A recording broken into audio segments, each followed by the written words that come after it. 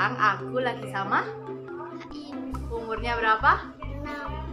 Nah, hari ini kita akan membuat sebuah anyaman. Nah, yang pertama kita siapkan kertas palu, terus juga eh, ada beberapa kertas lipat. Yuk kita mulai. Ya, coba Mbak Iyu.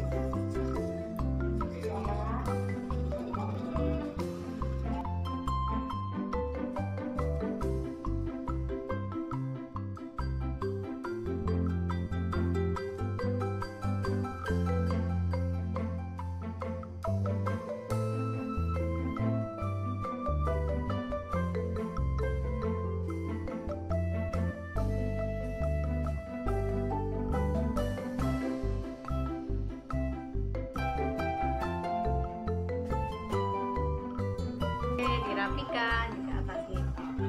Ye, tepuk tangan, tepuk tangan. Ye. Ini hasil karya Mbak Im. Jadi di sini ada warna apa aja? biru Biru dan juga merah Oke,